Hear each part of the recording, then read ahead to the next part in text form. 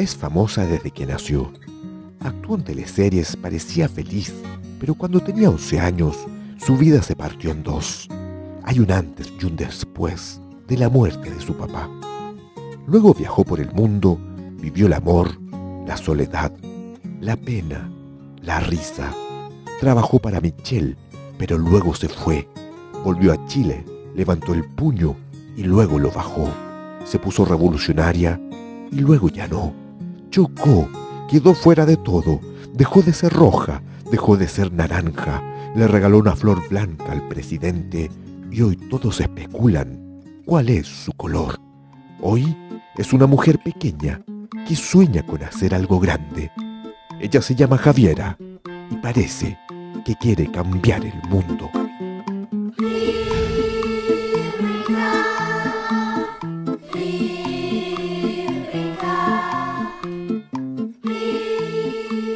Bienvenidos al Jornalista Digital en 3C. Hoy con nosotros una actriz, una gestora cultural, una política con sentimientos.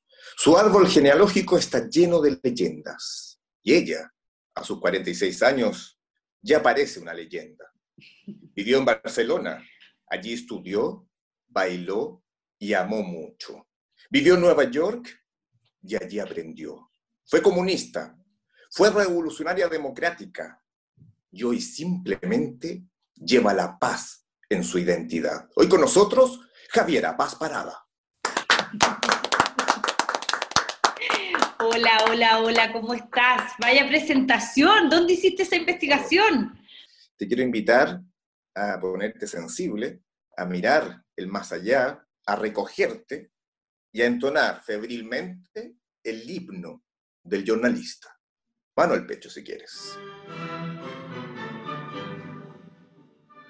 Verità, prima di tutto, da sempre rispettare e amare.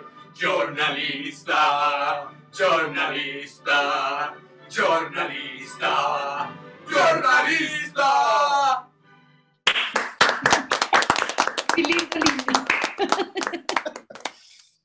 Javiera, eh, primeramente para ir como empapándome de ti, me gustaría preguntarte, en un escalafón de 1 a 10, donde 10 es la plenitud y 1 la depresión, ¿en qué lugar estás?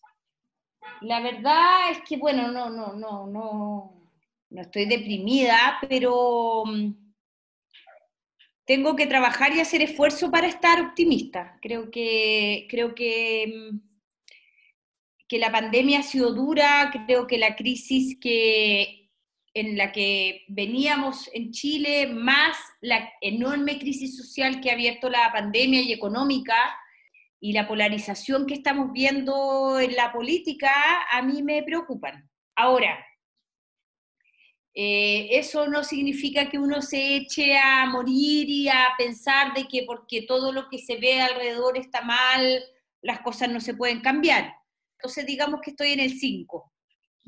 Te voy a hacer algunas preguntas pandémicas solo para situarte en el contexto. ¿Has hecho una locura a solas? Mm, no sé si califica de locura todo lo que estoy hablando sola. Em, y, y, las fiestas que me he pegado sola, sí, igual me he pegado como unas fiestas sola. Pero, pero sola. ¿Pero qué pones la música y como que te autosacas a bailar y te empiezas a mover? Sí, Sí, es que a mí me gusta mucho bailar, es que a mí me gusta mucho bailar, eh, como tú decías en tu introducción. Entonces, normalmente sin pandemia lo hago, pero ya ahora que uno está encerrado lo hago mucho más. Me hago un gin tonic que me ayuda a desenvolverme. y, disfruto, y disfruto conmigo mismo. ¿Has tenido amoríos por WhatsApp en este periodo pandémico que dicen que de repente las hormonas enloquecen? Sí, pero eso esa, esa, esa, parte de mi vida es para una entrevista en horario más nocturno, ¿no? Javiera, te pregunto también, mirando a tus ojos, tus ojos catalogados masivamente de tiernos, ¿tú eres una política amarilla? Parece que sí. Ese amarillo es eh, estar dispuesto a escuchar las razones de los otros, de, de la gente con la que uno no está de acuerdo, y estar dispuesto a que te convenzan y también estar dispuesto a aprender del, de los otros y a veces a darte cuenta que tus ideas no son las mejores ideas. Si eso es ser amarilla, sí, totalmente. ¿Y es, es impopular ser amarillo? Eh, en Twitter, súper. ¿Te despedazas por ser Eh, amarilla? En Twitter sí, pero en Twitter, no sé. Yo te voy a hacer preguntas breves y tú me respondes como un látigo, como un reflejo Bueno, que está en ti. ¿Eres tibia? No. ¿Cuál ha sido el peor insulto que te ha llegado en redes sociales por ser amarilla? El insulto que te tienen, dolió. Insultos que tienen que ver con mi padre. Creo que nadie tiene derecho a hablar de mi padre y de la muerte de mi padre y de lo doloroso que es para cualquier ser humano la experiencia de que tu padre haya sido secuestrado y degollado y por lo tanto creo que eso es de una bajeza gigantesca. Nadie conoce mi vida y lo que a mí me ha pasado y, y bueno, hay gente que se permite eso.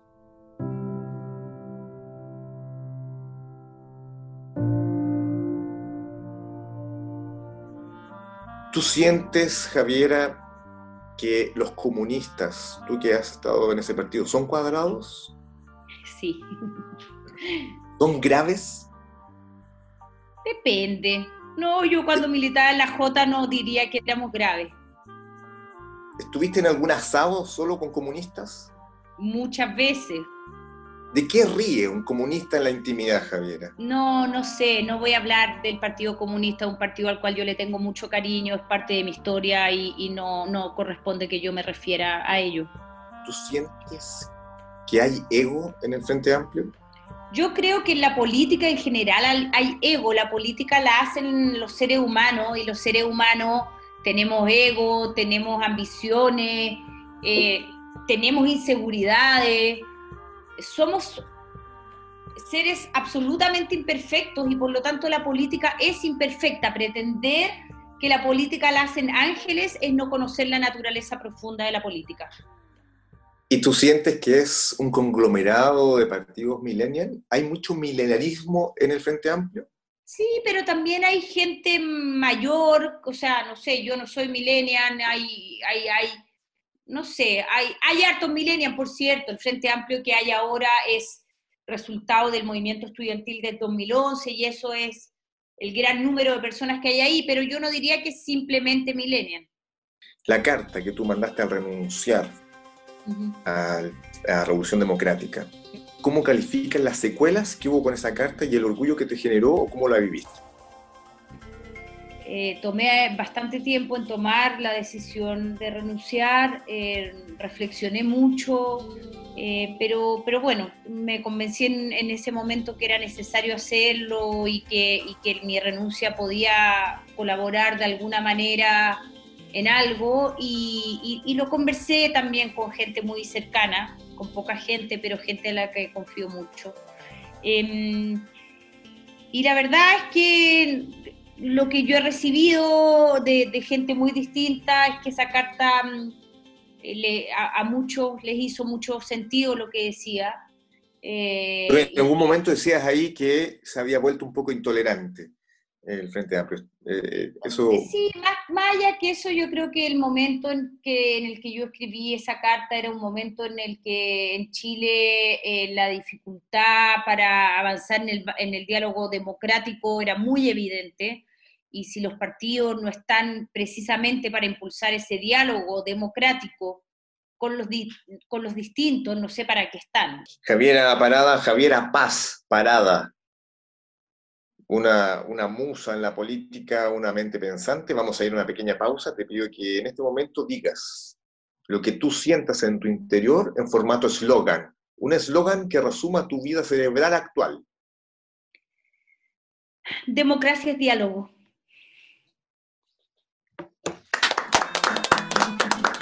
Ya volvemos.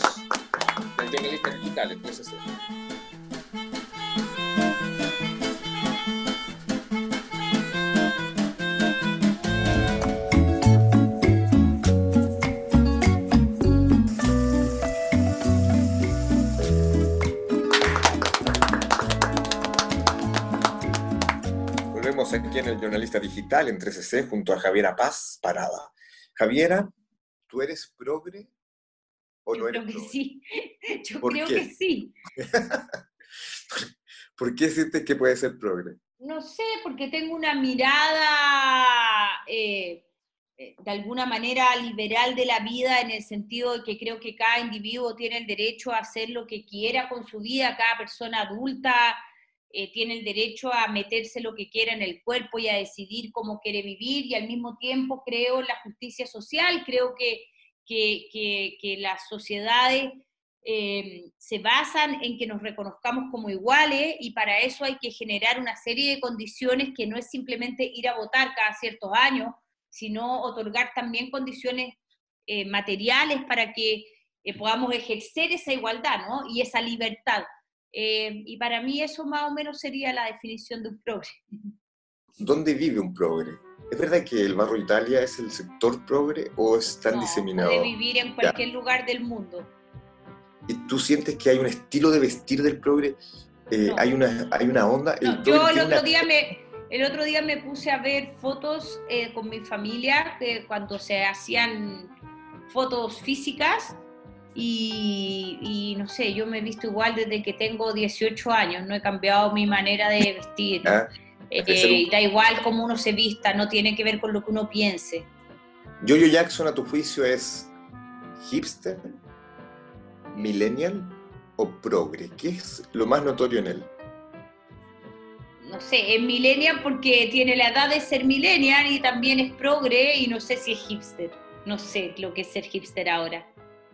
Eh, pero, pero es, pero, eh, pero, pero es un político muy importante, eso sí sé. Eh, me gustaría preguntarte, cuando tú chocaste y, y tuviste y te bajaron eh, tu candidatura al Parlamento, ¿tú sentiste que esa medida era populista, era una medida moralina, era una medida injusta No, o fue acertada? ¿Fue No, acertada? yo, ¿Cómo la yo- yo no, yo no, no, mira, yo no, yo cometí un, un- un tremendo error, eh, yo asumo la responsabilidad de eso, manejar bajo la influencia... ¿Has tomado mucho, verdad? No, no había tomado mucho, pero me hicieron una alcoholemia y salió positiva y eso es un error, uno sea candidata o no sea candidata. Eh, y por lo tanto la responsabilidad de ese hecho es absolutamente mía. ¿Qué, qué habías tomado? ¿Vino? Sí. Pero bueno, sí, ya doy por superada ese momento de mi vida, pasó hace rato eh, y ya.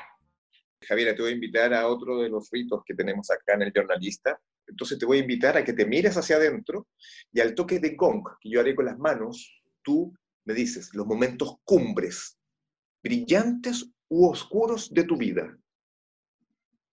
Al toque de gong, cierra los ojitos y comienzas. Mi infancia, eh, estudiando ballet, estudiando danza, las protestas en Chile, el día que ganó el no, eh, el día que me fui de Chile, el día que llegué a Barcelona y que decidí quedarme a vivir ahí, em, el día que volví a Chile, em, cuando me llamó la presidenta Bachelet para trabajar con ella en su comando y cuando me fui de ahí, muchos festivales de Santiago a Mil, trabajando en distintas cosas y viendo espectáculos maravillosos. Eh, el acto que hicimos en el Museo de la Memoria eh, para defender el Museo de la Memoria y los Derechos Humanos. Eso creo. Cuando ganó Giorgio Jackson también fue un día muy emocionante, que fue además el día en que se marcaron los votos eh, con AC y vimos que había mucha gente que quería una asamblea constituyente. Eso creo. Y los recuerdos familiares, lo de tu papá. ¿Cómo Lo de mi lo papá también es un día, bueno, es, es un periodo muy heavy y nada, que me marcó para toda la vida.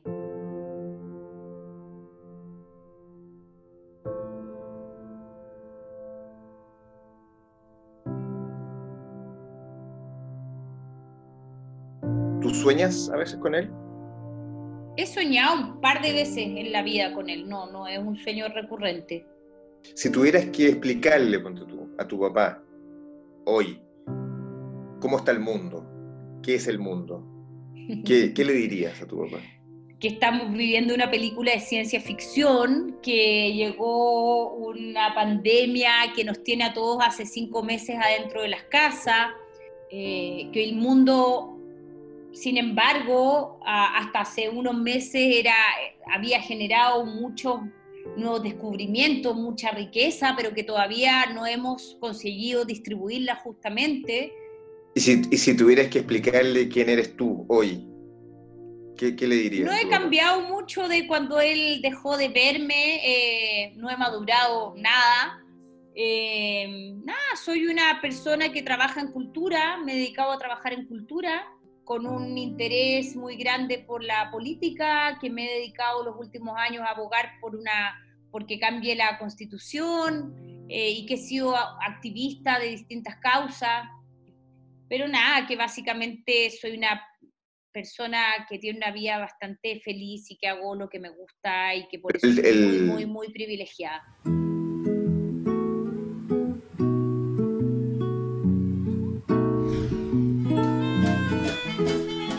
Cuando fuiste Gogo Dancer, que es uno de tus periodos estelares, es uno de tus periodos más brillantes. ¿Qué sentías al estar? Porque el gogo dancer está como una tarima, como que está una tarima bailando permanentemente. Lo pasaba muy bien. En esa época a mí me gustaba mucho salir a bailar y que te paguen por hacer lo que a ti te gusta es como una suerte. Y nada, lo pasaba muy bien, era muy joven y... ¿Y qué, pero tú eras como un trance, bailas, bailabas como una especie de trance en medio de las No, tenía, teníamos, eh, habían personajes, historias y y, no sé si alguien fue alguna vez a las fiestas Spandex eh, que se hacían acá em, a finales de los años 80 o comienzo de los años 90, pero era algo parecido, pero teníamos distintos personajes, historias y, con eso armábamos shows en medio de las discotecas y de las fiestas. Me gustaría preguntarte, eh, ¿pensaste en ser madre? ¿Te gustaría ser mamá? Eh, no se dio? ¿Cómo viviste el proceso de la maternidad o nunca fue tema?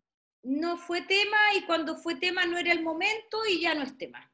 Y ahí, eso es un resumen muy rápido del, tema.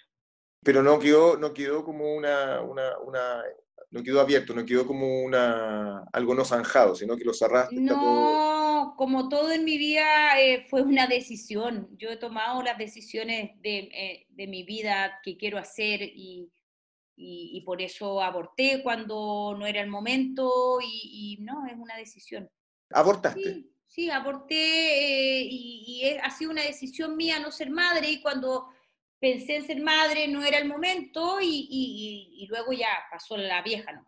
Yo creo que abortar es un derecho de las mujeres eh, y espero que en Chile avancemos a una legislación que permita que las mujeres cuando decidan abortar puedan abortar y que no tengan que invocar las tres causales que hoy día eh, se exigen en Chile, porque eso lo que hace es poner en riesgo eh, la salud de las mujeres y yo creo en la autonomía de las mujeres como seres humanos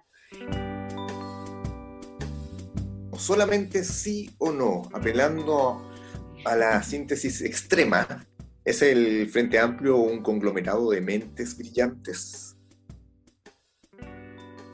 No te puedo contestar sí o no, es un conglomerado y hay mentes brillantes y otras no tan brillantes. ¿Es el Frente Amplio un conglomerado donde abundan las personas soberbias? No. ¿Es Gabriel Boric sexy? Sí.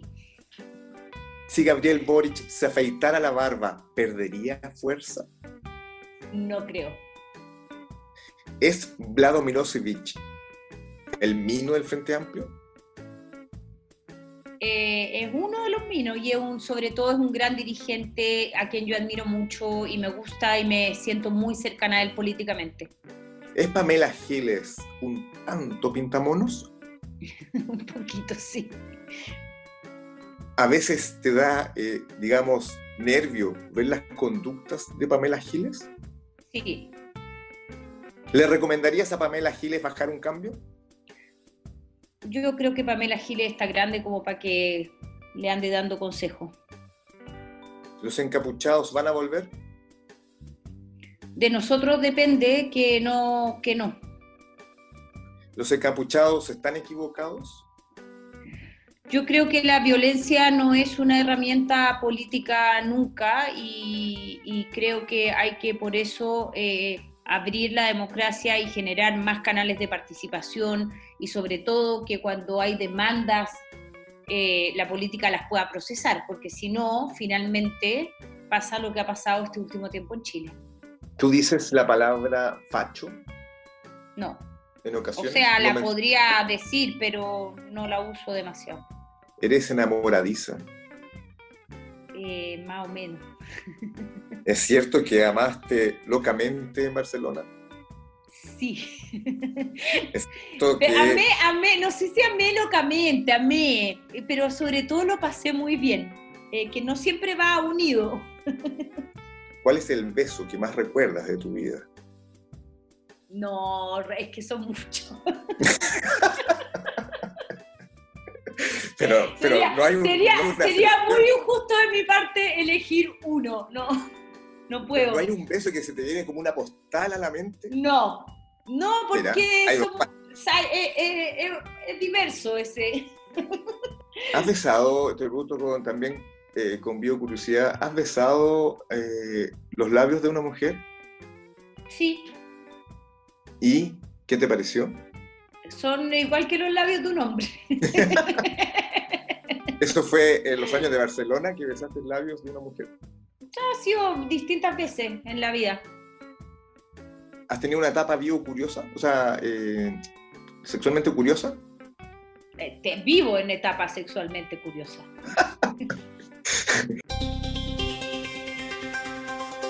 yo te dijera paz o justicia hoy a tus 46 años, ¿qué prefieres? Es que yo creo que no puede haber paz sin justicia. ¿Y te gusta que la paz esté en tu nombre o no? Bueno, a mí me iban a poner paz y no me pusieron paz porque llegó el golpe de Estado. Y era un poco cruel ponerme paz parada después del golpe de Estado. Tres, tres metas, Javiera, que te has propuesto para el futuro y tres misiones para tu vida que estás trabajando por lograr. Tres metas. Bueno, hacer mi próximo libro con mi editorial que fundé el año pasado. Estoy trabajando en ese proyecto que me tiene entusiasmada. Eh, lograr sacar adelante eh, un proyecto en el cual estoy trabajando hace seis o siete años sobre la astronomía, que donde Chile tiene un potencial gigante eh, y creo que tenemos un tesoro en los cielos que tenemos en Chile y, y ese es un proyecto que le tengo mucho cariño y espero que, que- que vea la luz eh, prontamente y pintar mi casa que necesita una mano de pintura. Tu frase hoy, tu eslogan hoy, tu bandera hoy.